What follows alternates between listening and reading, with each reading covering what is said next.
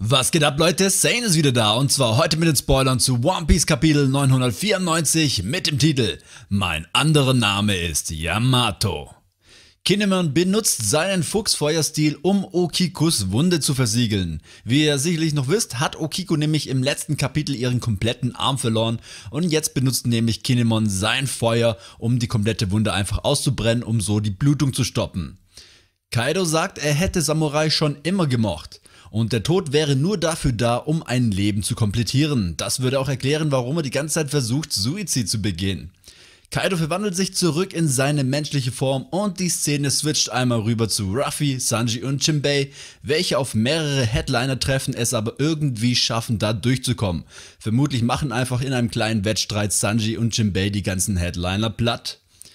Queens Kugeln erfahren wir jetzt infizieren sowohl Verbündete als auch feindliche Gegner.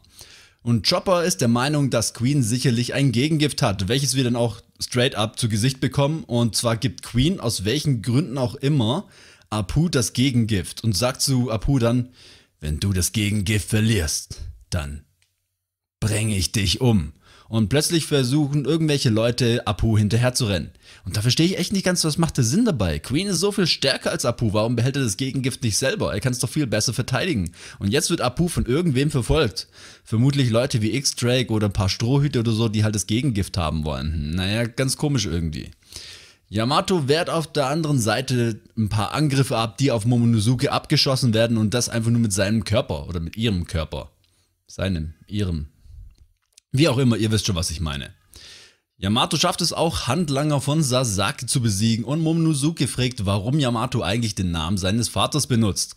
Und Yamato sagt einfach nur, mein anderer Name ist Yamato und ich würde für dich sterben.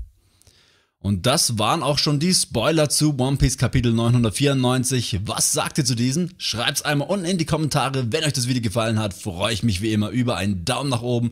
Und wenn du in Zukunft keine Spoiler mehr verpassen möchtest und zum ersten Mal auf meinem Kanal gelandet bist, dann drück doch einmal den Abo-Button, verpasst keine Videos mehr und gib mir ein bisschen Unterstützung. Bis zum nächsten Video wünsche ich euch wie immer viel Spaß und haut rein. Ciao!